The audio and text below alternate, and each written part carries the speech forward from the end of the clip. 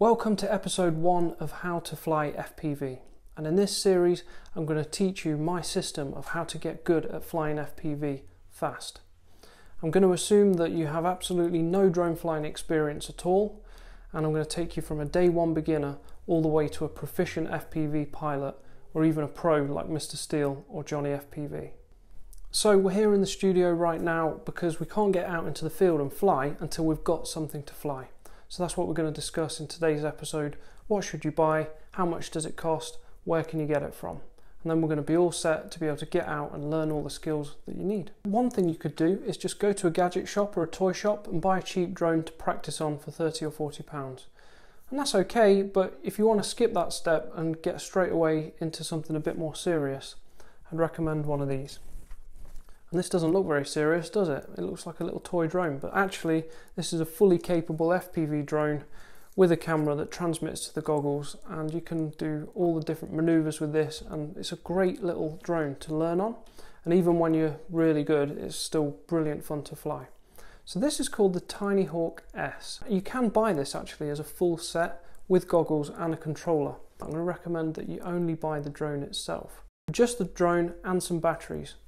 And the reason why is because this is going to last you throughout the hobby and we're going to connect it to your own controller, your own transmitter. I fly a Taranis X9D. This is a Taranis QX7 and I would happily fly this instead of my X9D. This can last you all the way to being a pro pilot. It's a great radio, it's pretty good, reasonable value. It costs about £100 and this will connect to your Tiny Hawk and this costs about £80. Maybe with the extra batteries, you're about £200 in and you're all set for a great experience with gear that will last you throughout the hobby. It's very popular advice to use a simulator, and that's definitely something you can do with your Taranis. You can connect it to your computer, download a program like Velocidrone, and practice on that simulator to be able to get good before you ever fly a real drone.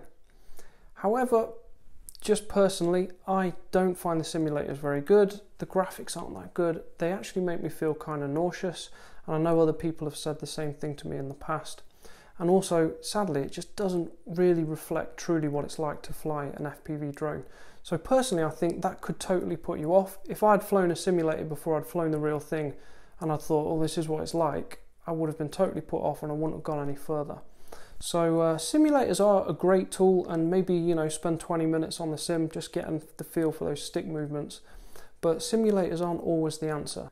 And this is an alternative where you get to just go out and fly and practice without having to use the sim at all. Now, the last thing you're going to need to be able to fly FPV, because after all, FPV stands for first person view, and to get that first person view, you're going to need a set of video goggles.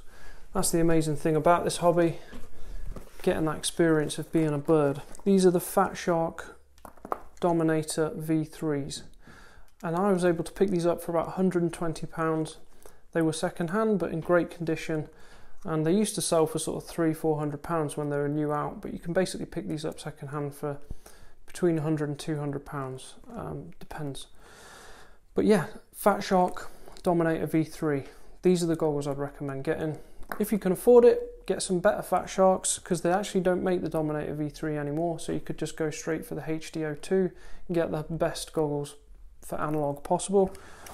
And you know, you can spend whatever you want really in this hobby. So with this system that I'm showing you today, really it's about kind of getting in the air for a good price, not committing to spending too much before you have a good experience. There'll be a link in the description to where you can get this gear. Um, but if you're struggling to get hold of it, then I'd recommend going on Facebook and looking at Drone Junkyard, which is a second-hand selling page for people who are selling their old drone gear. Of course, if you want to, you could buy all the most expensive and best gear. You could go straight for a 5 inch drone a quad with uh, HD in it. You could get the DJI FPV system, and you'd be looking at sort of one to two thousand pounds. If you can afford it and you want to do that, go for it. That will also work. But do your research. Look on YouTube and Google, and if you find better gear or you get better recommendations, go for that. It's up to you. But this is the system that I'm recommending today. And this is all based on experience and knowledge. So if that helps, give us a quick thumbs up and I'll see you next time.